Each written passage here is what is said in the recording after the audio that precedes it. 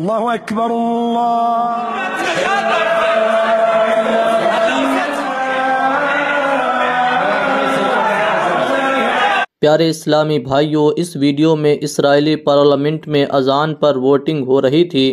कि मुसलमान मेंबर ने खड़े होकर इसराइली पार्लियामेंट में ही अजान पढ़ना शुरू कर दी पार्लियामेंट में हंगामा मच गया यहूदी चीखते रहे चिल्लाते रहे लेकिन इस फ़िलिस्तीनी मुसलमान ने अजान नहीं रोकी और आगे जो हुआ वो आप इस पूरी वीडियो में देखिए